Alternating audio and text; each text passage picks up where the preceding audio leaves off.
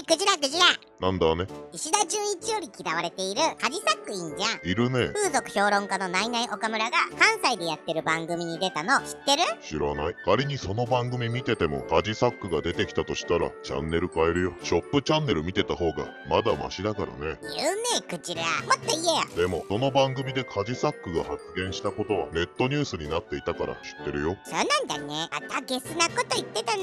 そうだね。YouTube はかなり儲かりますって言ってたね。岡村より稼いでるからマウント取ってたもんね。しかもあえて言ってるとかカッコつけてんのが最高にキモかった。他の芸人も YouTube やってほしいからって言ってたね。本心は他の芸人もやってみろよ。絶対俺みたいに成功しないからだよね。間違いないね。それにしても言うね。でもそんなカジサックが YouTube より儲かることがあるって売れない芸人に勧めていることがあるんだよ。何何？YouTube ってなんだかんだで大変だよね。企画考えて撮影して編集してね。でも労せずして金を入手できることがあるって教えているみたいよ。まさかそう生活保護の不正受給だね。待ってました。生活保護ネタ。カジサックは金の亡者だから生活保護の不正受給でも何でもするぞ。あの時にマスコミにバレなければ今でもやっていただろうね。それにしてもクジラはカジサック嫌いだな。カジサックからコラボ依頼来たらどうしよっか